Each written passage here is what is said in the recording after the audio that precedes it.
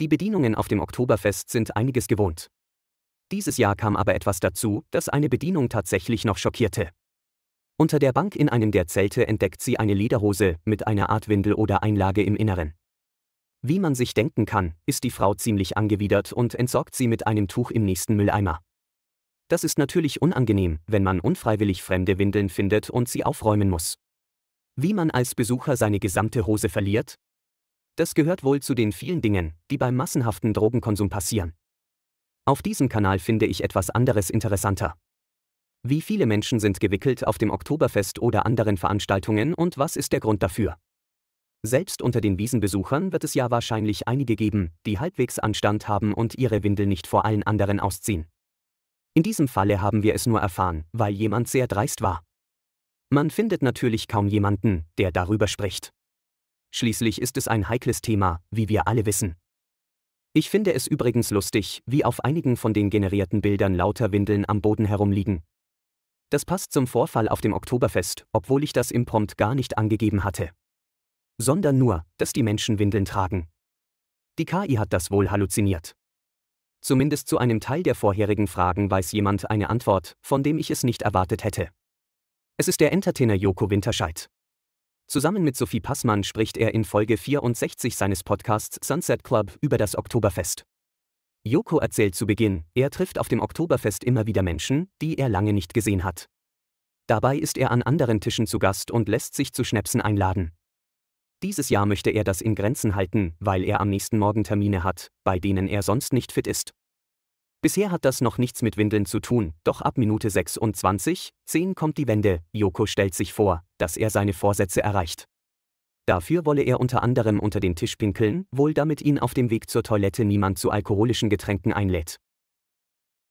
Oder, ich meine, ich Mhm. bin jetzt auch ein Jahr älter, ne? Ja. Oder ich krieg's hin. Was kriegst du hin?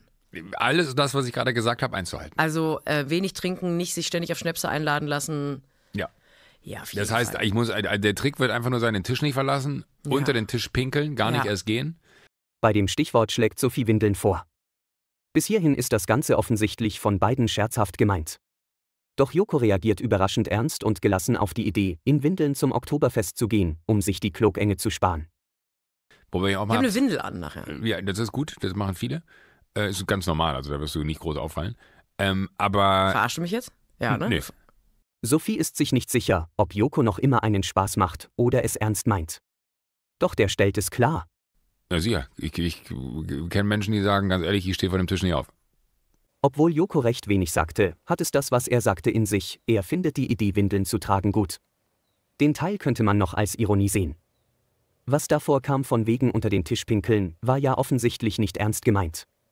Aber was wohl definitiv kein Scherz ist, er kennt einige Menschen, die auf dem Oktoberfest Windeln tragen, um nicht aufstehen zu müssen. Nachvollziehbar ist das. Wer viel trinkt, der muss auch oft auf die Toilette. Dass viele Menschen dafür heimlich Windeln tragen, ist mir neu. Es wäre interessant zu wissen, wer das ist. Tragen diese Menschen wirklich nur aus praktischen Gründen eine Windel? Oder sind auch einige ABDL dabei, die das als Vorwand nutzen? Denkbar wäre auch, dass dies Menschen unter Alkoholeinfluss hemmungsloser werden und anderen von ihrer Windel erzählen, was sie beispielsweise in einem Freizeitpark ohne Drogen nicht getan hätten. Leider erfahren wir darüber nicht mehr viel. Sophie fehlen die Worte und dabei schaut sie wohl irritiert in Jokos Augen. Ich liebe deinen Blick. Was ist denn jetzt daran irritierend? Ich finde alles, ich finde es ganz. Ähm, weißt du was? Die Ebene können wir nächste Woche aufmachen, weil ich gehe heute Abend aufs Oktoberfest. Ich habe mir Ich vorgenommen, open-minded zu sein. Ich möchte jetzt nicht schon wieder so eine dumme Passmann-Soziologie-Analyse machen, was daran irgendwie beklemmend ist. Die Klatschpresse macht daraus die Ekelwahrheit über Wiesenwindeln. Das ist hier geschickt mit der anfangs erwähnten unter dem Tisch gefundenen kombiniert und rutscht die ganze ABDL-Szene in ein schlechtes Licht, weil einer sich daneben benommen hat. Obwohl das wenig ist, wenn man Joko glauben mag. Laut ihm machen das viele, also hat die große Mehrheit ihre Windeln ordentlich entsorgt. Ich finde es schade, dass man das Thema damit in ein schlechtes Licht rückt. Und dass die beiden im Podcast nur kurz darüber diskutiert haben. Joko scheint das sehr entspannt zu sehen, während seine Gesprächspartnerin es offensichtlich als so schlimm empfindet, dass sie gar nicht darüber sprechen möchte. Es hätte ihr und vielen Zuhörern sicher die Augen geöffnet, wenn er darüber spricht, wie viele normale Menschen Windeln tragen. Und es auch abseits von ABDL Gründe gibt, warum das praktisch sein kann, dazu habe ich ja schon mal ein Video gemacht. Wie seht ihr das? Schreibt es in die Kommentare oder kommt in meine ABDL WhatsApp-Gruppe. Die Quellen findet ihr in der Videobeschreibung. Dort könnt ihr euch den gesamten Podcast anhören. Bleibt trocken, bis zum nächsten Mal.